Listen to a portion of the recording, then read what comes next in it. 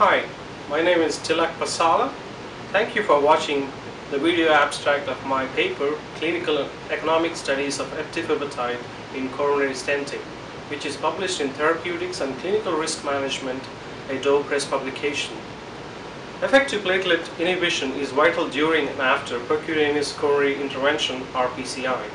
Platelet adhesion and aggregation at the site of coronary stenting can have catastrophic clinical and economic consequences. The key role played by platelets in pathological thrombosis forms the basis for using various antiplatelet agents in patients with acute coronary syndrome undergoing PCI. Aspirin, a thromboxane A2 inhibitor, when used alone has limited efficacy in preventing cardiovascular events after coronary stenting. This led to the development of potent antiplatelet agents that block different pathways in platelet activation and aggregation such as P2Y12 receptor blockers like clopidogrel and glycoprotein or GP2B3A inhibitors like eptifibatide.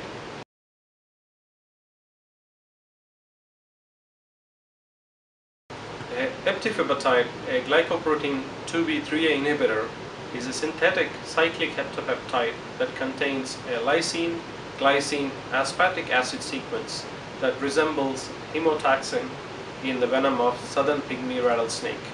It is a reversible competitive antagonist that binds to the active site of glycoprotein 2B3A receptor and prevents platelet aggregation and thrombus formation. It is given intravenously and reaches peak plasma concentration in 5 minutes and has a half-life of 2.5 to 2.8 hours.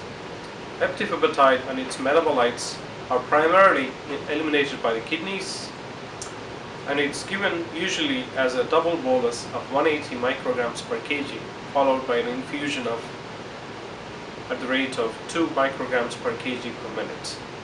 However, in patients with renal dysfunction with a creatinine clearance less than 50 milliliters per minute, it is given at a lower infusion at a rate of 1 micrograms per kg per minute.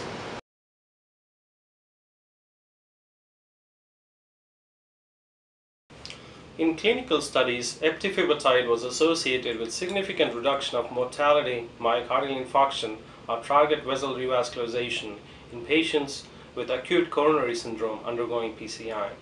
However, recent trials conducted in the era of dual antiplatelet therapy and newer anticoagulants failed to demonstrate similar results. The previously seen favorable benefit of eptifibatide was mainly offset by the increased risk of bleeding. The current American College of Cardiology and American Heart Association guidelines recommend eptifibatide use as an adjunct in high-risk patients who are undergoing PCI with traditional anticoagulants like heparin or enoxaparin who are not otherwise at high risk of bleeding. In patients receiving bivalirudin, a newer direct thrombin inhibitor and a newer safer anticoagulant routine use of eptifibatide is discouraged.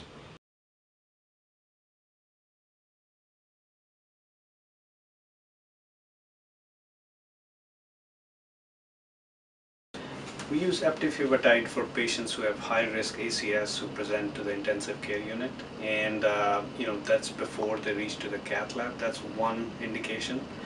More commonly, we use it in the cath lab when we see somebody with acute coronary syndrome and very large thrombus burden, for example, somebody with a vein graft. Uh, we also use it in patients where that we need to do bailout, uh, especially in situations where there's no reflow or slow reflow. And lastly, uh, you know, occasionally we'll have patients with acute MI where we do an angioplasty and would uh, discuss that they need bypass surgery and instead of using an oral antiplatelet agent, we'll leave those patients on uh, IV eptifibatide.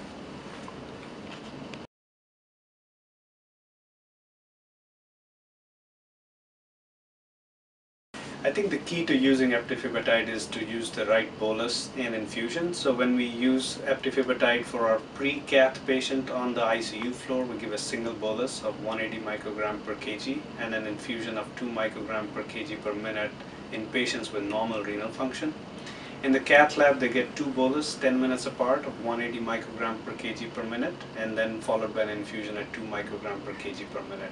In patients with decreased creatinine clearance, uh, you can decrease the dose to half, which is one microgram per kg per minute, and that's just the infusion part. The bolus remains the same. Um, we do want to make sure that you know we monitor platelet count in patients where we leave them on eptifibatide infusion overnight, and finally in patients uh, where we use eptifibatide, we prefer to use radial access. Uh, in fact, we use radial access for most of our interventions, so bleeding at access site has become less and less important uh, as we have switched to radial access. Cost-effective analysis of eptifibatide is worth mentioning. The older pharmacoeconomic studies favor eptifibatide. However, in the recent era of P2Y2 receptor inhibitors and newer safer anticoagulants, the increased costs associated with bleeding make the routine use of eptifibatide an economically non-viable option. The cost effectiveness of eptifibatide with the use of strategies that decrease the bleeding risk, for example, radial, radial access for PCI, is unknown. This review provides an overview of key clinical and economic studies of eptifibatide well into the current era of dual antiplatelet therapy, novel safer anticoagulants, and contemporary PCI. Thank you.